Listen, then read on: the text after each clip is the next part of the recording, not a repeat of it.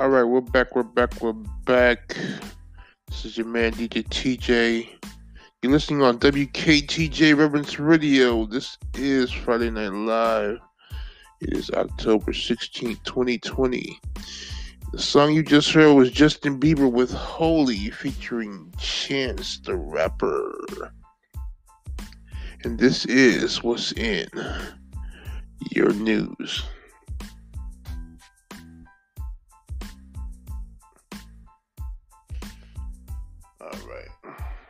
So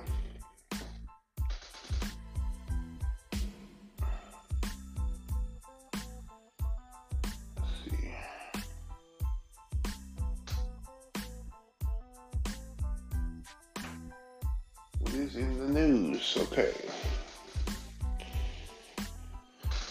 Wow.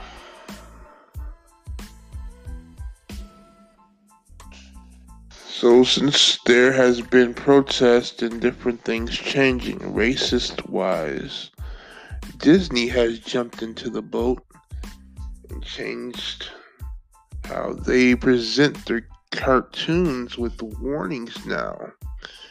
Disney Plus will be adding content warnings to Dumbo and Peter Pan. The updated disclosure appears when a user clicks on the film with the label on screen for moments. Disney updates content warning for racism in classic films like Lady and the Tramp. Wow. So Disney Plus's disclaimer now acknowledges harmful impact of racist stereotypes. This is a big deal, y'all. Disney Plus adds content advisory warnings in front of Dumbo, Peter Pan, and other cartoons. So, they're one of the largest media corporations in the world, y'all. In the world. And they've changed how they do what they normally do. Shout out to Disney for recognizing and changing the world. That's a huge deal, y'all. That's really huge. I'm surprised it hasn't been said on the news just yet, but Maybe this just happened. I don't know. But um, this is news coming out of the Chicago Tribune about an hour ago.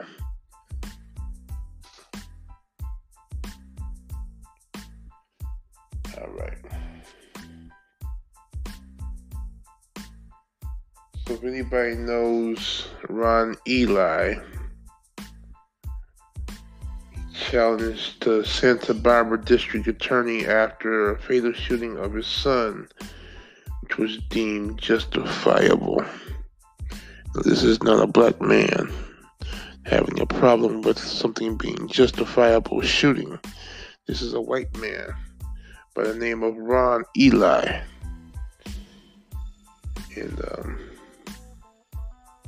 seems like this is happening everywhere, so Sometimes we gotta change everything for everyone, not just some people. That's why people say all lives matter, but you know, sometimes you can't leave people out when all lives matter. So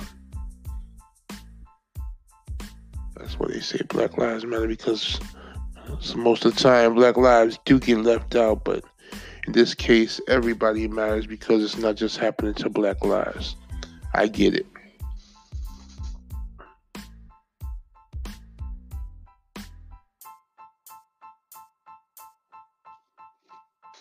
All right, in New Zealand, Australia, the travel bubble has opened one way travel bubble opens between Australia and New Zealand. The first passengers from New Zealand have arrived in Australia under new travel bubble rules.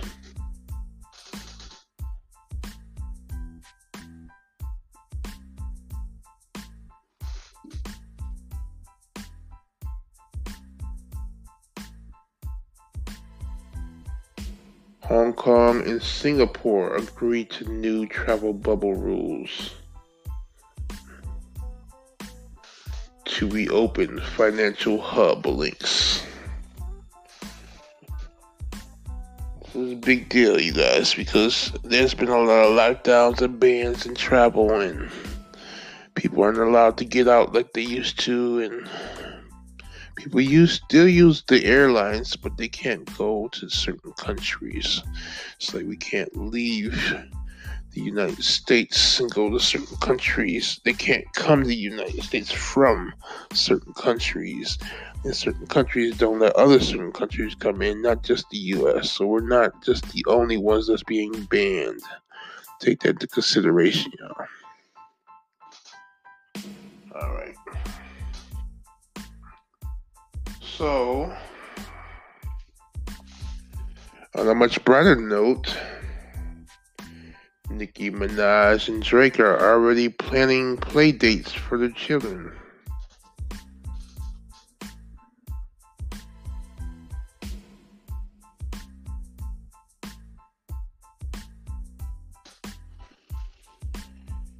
Nicki Minaj finally revealed to the world this week that she gave birth to a baby boy recently on Instagram.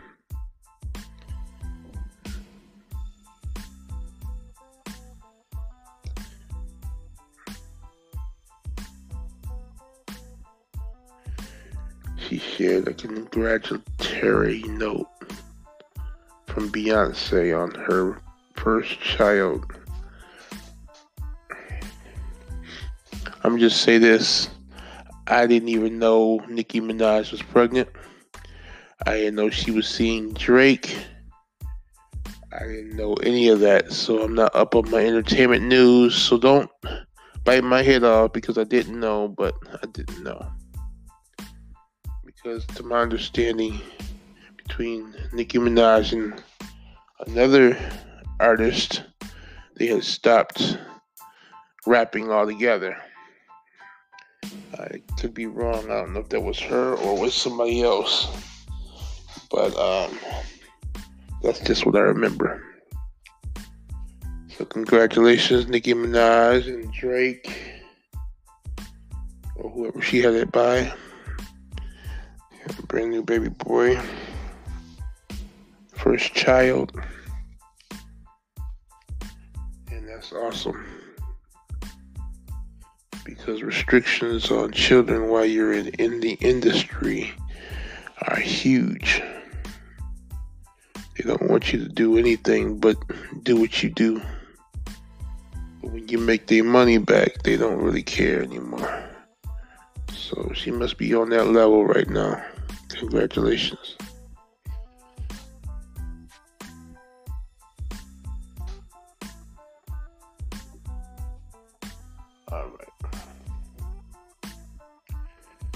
You know that on this day in history in 1969,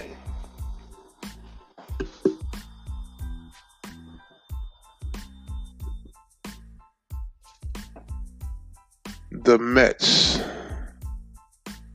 the New York Mets, stunned Baltimore and won the World Series. Did you know that?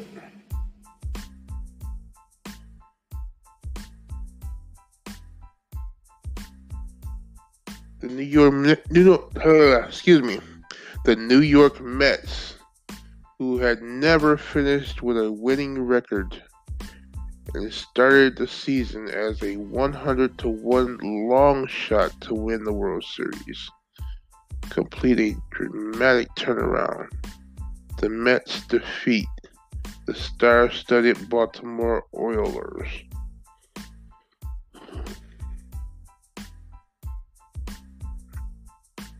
in Game 5 at Shea Stadium to win the series. Wow.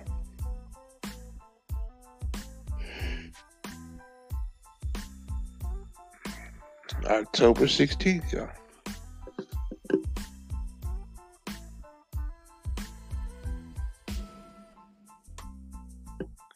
In the election news, President Trump and Joe Biden both had town hall meetings instead of a face to face debate because it was canceled. And on different channels, they held these town hall meetings as voters asked them questions, and it was broadcasted live over ABC and over NBC. And that is the talk of the town right now.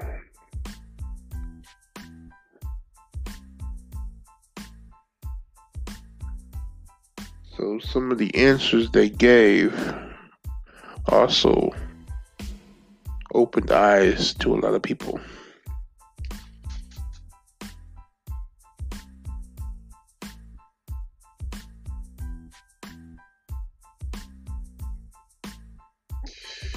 Chris Christie acknowledged that he messed up not wearing a mask because he became positive of the coronavirus. And he's now out of the hospital after battling COVID. Urges Trump to go even farther on masks now, Joe Biden already said that once he becomes president, he will have a mask mandate in place, which I believe is an awesome idea because people really don't care about this thing anymore. Trump says you have to go through it. Once you get through it, you don't have to worry about it no more. Well, guess what? There was a case where a guy after a month or two got the virus again. So, yes, once you get it, you become immune, but only for so long and only for so many different people, and there are different strands out here. So, you never know what you might get. You might get something worse than the first one that you got, that you were immune to, or you had asymptomatics uh, episodes or, or uh, reactions to. You know, you never know what uh, strand you might end up with. Not to mention that it is now flu season, flu and cold season, and these weather changes are very dramatic and heavy right now. So you never know. Just wear your mask. It's that simple, y'all.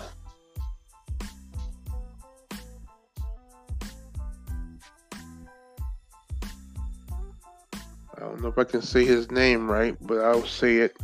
Salvador Cienfuegos Zepeda, Mexico's ex defense minister, has been arrested in the U.S. This is General Salvador Cienfuegos.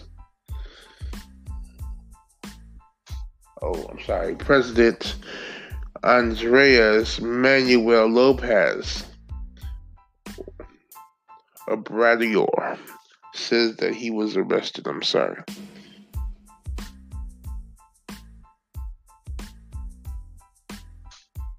You asking yourself, what was he arrested for? Let's see what he was arrested for.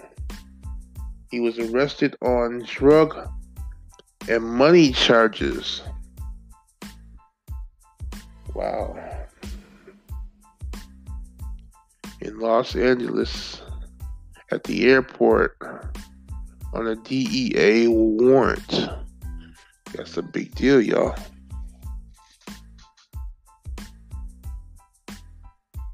He's next Mexican Army chief.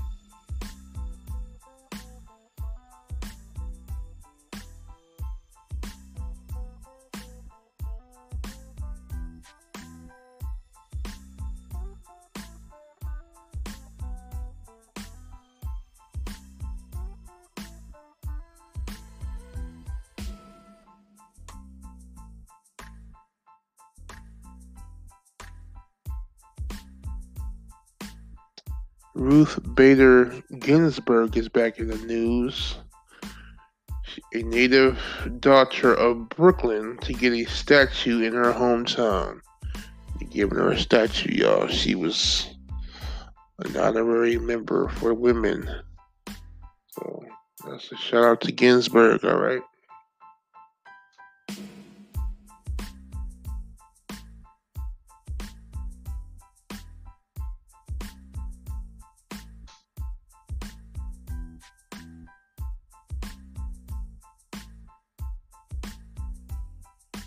All right, the COVID cases have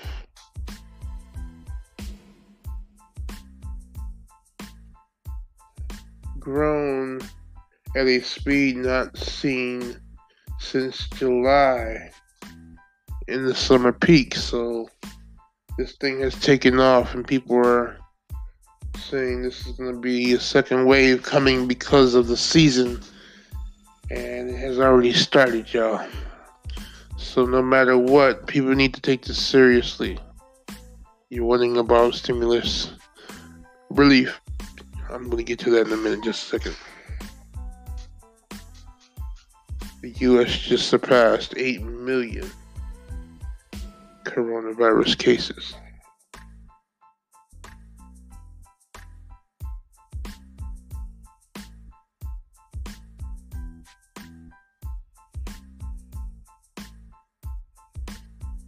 Think about your family this Thanksgiving.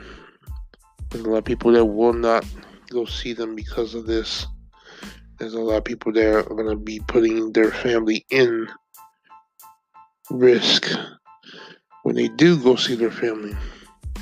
So think about your family this season.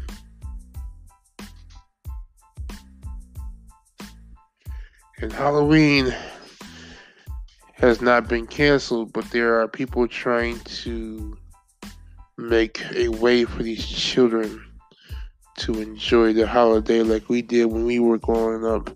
There have been drive through Halloween candy giveaways in my town. I've seen some things on Facebook and on uh, other shows like uh, Kathy and Ryan or whatever it was.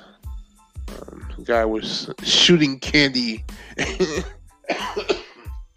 through the air, excuse me, in order to give them candy with a rocket launcher kind of thing. And uh, there was another one with a slingshot. So you want to enjoy Halloween this year, if that's what your thing is, you can slingshot some candy to these children which is amazing. But I understand why they do it.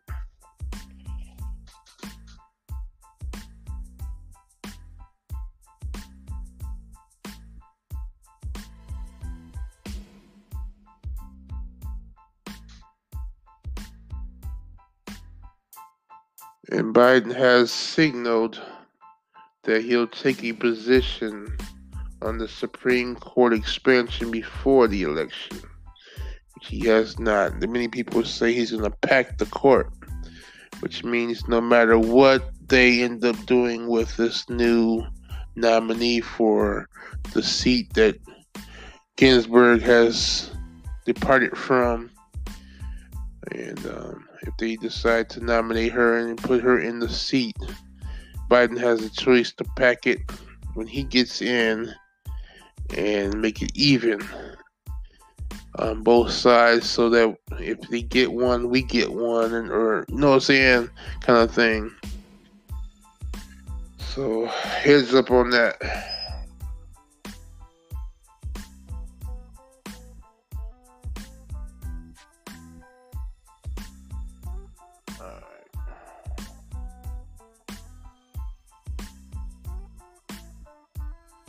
coming down to the last couple stories, y'all. So the Colts closed practice facility after positive COVID 19 tests. The Indianapolis Colts announced Friday that several individuals within the organization have COVID 19.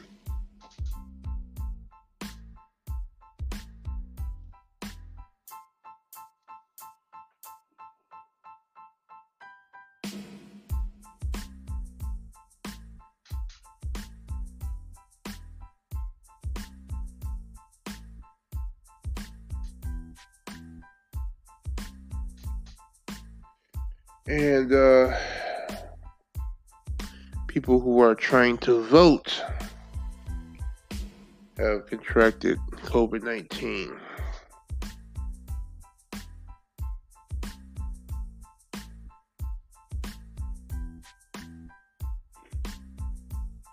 Cincinnati and Tulsa have postponed their game due to COVID 19.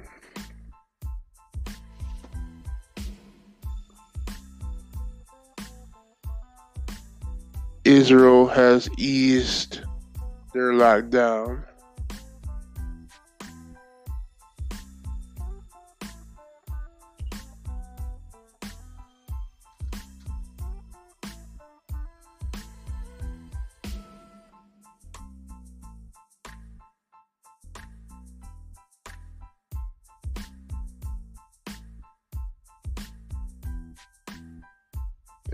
Biden has laid out his plan, his vision,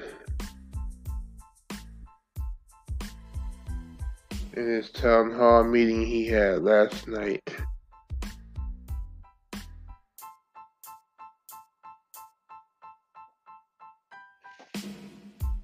So, just so you know, and they did not talk about it.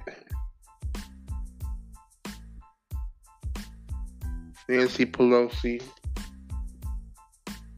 was on CNN recently, and her and with Wolf Blitzer were in an interview, and people were saying she went off, or she had words, or she got heated. And I'm not gonna say that. When instead, I'm gonna say that she was offended by his questions and took a defensive stance to his questions and the way she defended um, changed the tone of the interview. So he asked, Why don't you talk to the president?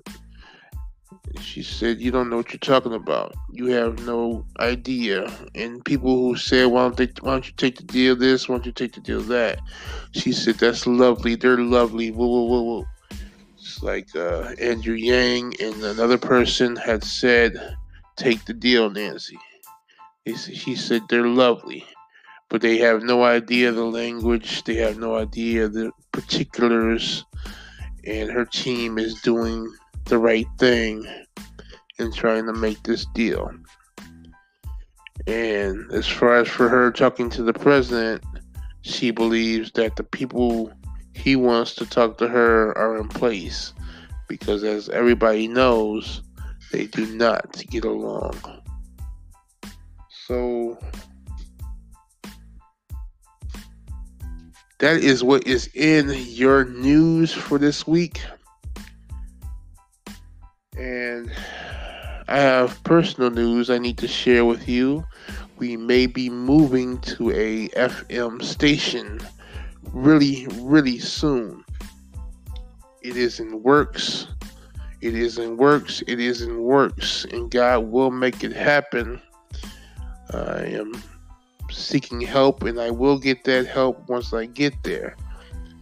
So, God is good.